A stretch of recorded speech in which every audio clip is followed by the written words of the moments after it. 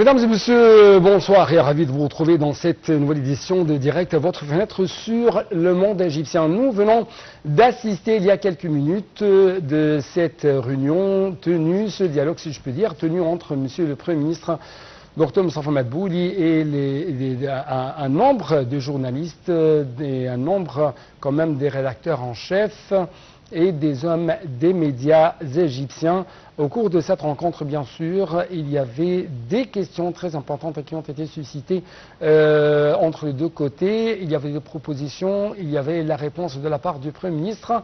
Le but essentiel de ce dialogue entre les deux côtés, c'était bien sûr, euh, c'est euh, comment répondre euh, aux questions proposées par la rue égyptienne, mais aussi comment lutter contre toute rumeur qui essaye toujours de rendre les gens pessimistes, de rendre les gens dans une sorte de dépression. Nous avons aujourd'hui également sur la scène égyptienne euh, cette conférence euh, de fatwa, cette neuvième édition de euh, conférence mondiale de la fatwa organisée par le secrétariat général des maisons de la fatwa. Et cette rencontre a été tenue bien sûr sur le parrainage de monsieur le président des Fatah ici. Ici, la conférence regroupe des muftis, des savants ainsi que de hauts responsables en provenance des quatre coins du monde. Les explications tout de suite.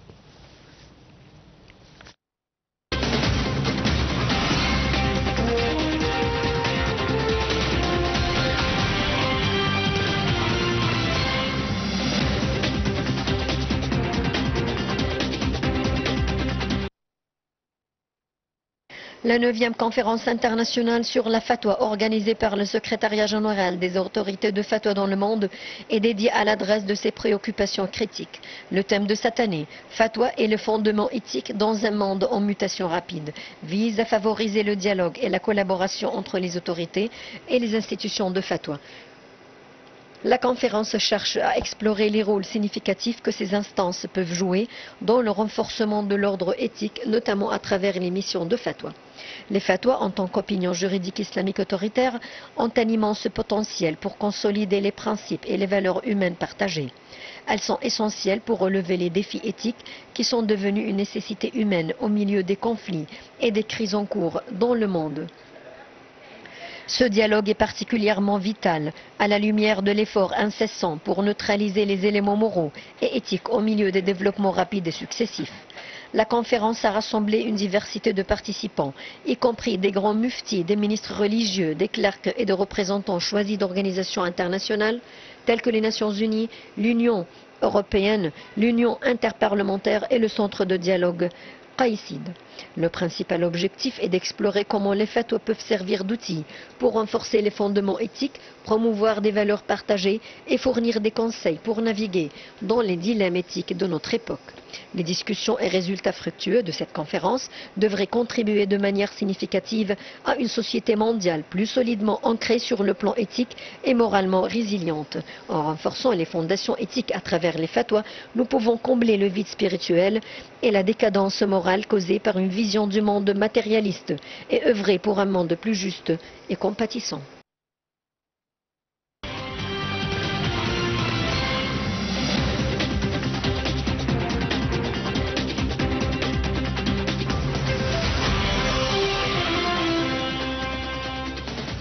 Donc, pour avoir plus d'analyse, j'ai actuellement en ligne de la TV internationale le grand penseur islamique de renommée internationale, monsieur le docteur Ismail Hamed. Monsieur euh, Ismail Hamed, vous êtes toujours le bienvenu sur la TV internationale. Merci beaucoup pour nous rejoindre à travers la ligne. Oui, merci beaucoup. Merci. Merci, docteur Ismail Hamed. Permettez-moi, euh, premièrement, de vous proposer cette question. Comment vous avez suivi euh, les activités de cette conférence, notamment euh, si je parle de ces recommandations qui ont été euh, issues par cette conférence. Bien sûr, c'est une conférence très importante, bien sûr, avec une participation mondiale très vaste, très grande. Et comme c'était déclaré qu'il y a plus de 104 pays qui participent euh, avec la conférence internationale de Al-Fatwa, euh, donc euh, vraiment aussi avec beaucoup de grands personnages, beaucoup de muftis euh, de beaucoup de pays arabes et musulmans qui participent aussi avec les activités de cette conférence internationale. Et bien sûr, tout ça, ce sont des indices qui représentent la valeur et l'importance du sujet et de l'acte principal de, euh, bien sûr, cette conférence euh, actuelle pendant le, le, jour la 29 et 30. Donc, euh, vraiment, n'importe quel rassemblement pour les scientifiques ou les savants ou les ulama musulmans qui viennent, bien sûr, et se rassemblent pour discuter pour les questions plus importantes, particulièrement pour Al-Fatwa. Et comme on connaît que Al-Fatwa, c'est une question religieuse, juridique, bien sûr, euh, ça toujours présenté pour quelqu'un du grand connaissance, quelqu'un qui est bien qualifié. Euh, un savant de l'Azhar, un savant de Dar el-Fatwa, c'est quelqu'un avec les qualifications comme ça. Et ça, c'est aussi c'est très important pour choisir les gens qui donnent Al-Fatwa aussi pour les communs, pour les gens en général qui demandent de savoir des questions qui ne sont pas très claires. Donc, euh, depuis là, le fatwa, comme on connaît, que euh, ça commence avec le début de l'islam. Même pendant la période de prophète Mohammed, il y avait les compagnons. Prophète Mohammed qui donnent toujours les réponses pour les questions de Sahaba. Après la mort du prophète Mohammed, donc les grands compagnons, grands Sahaba, c'était où qui s'impose pour donner les réponses très claires pour euh, les questions euh, pour n'importe qui qu'elle demande, d'après tout ce qu'ils ont entendu du prophète Mohammed, d'après aussi euh, euh, tout ce qui est mentionné dans le Coran, le hadith et, tout ça. Donc Al-Fatwa, c'est une chose très très importante normalement. Et aussi, on, a besoin aussi de bien voir Al-Fatwa et de corriger aussi Al-Fatwa par des gens qui sont qualifiés. Ça, c'est un grand défi pour les gens qui ne sont pas qualifiés, qui donnent des réponses de fatwa pour les gens en commun. Oui. Euh, donc, euh, à partir de ce que vous venez de nous euh, révéler, comment vous trouvez l'importance de cette conférence aujourd'hui qui se tient pour rendre les gens plus, pour rendre, pardonnez-moi, le monde plus juste, mais aussi plus, moins matérialiste? Oui, bien sûr par rapport à la valeur de euh, cette conférence, ça fait une chose très importante, la valeur, l'importance et tout ça. Et comment une conférence comme ça, avec la participation très vaste de ces grands nombres de muftis qui viennent d'une grande partie des pays arabes et musulmans, mais aussi des grands scientifiques, des grands aussi académiques, des questions euh, islamiques et tout ça, ça c'est une chose très importante. Hmm. Et comment aussi bien alors euh, faire des bases pour Al-Fatwa et, pour aussi bien sûr donner beaucoup de vertus de ça. Par, par exemple, là, les axes principaux par rapport à ce qu'on a entendu de la conférence pour encourager le dialogue entre les religions. Al-Fatwa toujours pour ne pas se séparer, pour ne pas dire des mots qui font des différences entre les citoyens de même pays. Donc ça c'est important là pour euh, donner alors de fatwa, bien sûr, qui, euh, qui fait le bien pour la société. Et comme on connaît là al-fatwa, il y a une grande différence entre al-fatwa elle-même et par rapport au jugement juridique. Et le fatwa, c'est toujours, représente beaucoup de, euh, de choses. L'imam Shafi, quand il vivait à la Médina, et puis il a vécu à Bagdad, et même quand il est venu au Caire, alors pour vivre pendant la période de sa vie, il a changé sa façon de al-fatwa à cause de, bien sûr, le changement de l'environ et le pays et les euh, traditions, euh, et tout ça pour le pays ou le peuple où il vit actuellement. Donc ça c'est une chose importante de mettre tout ça en considération avec al-fatwa euh, pour les, les, scientifiques musulmans.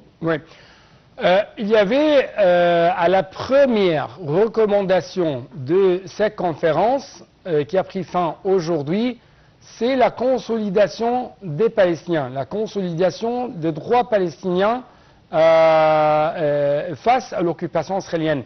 Le soutien apporté par cette conférence aux efforts égyptiens pour soutenir les Palestiniens.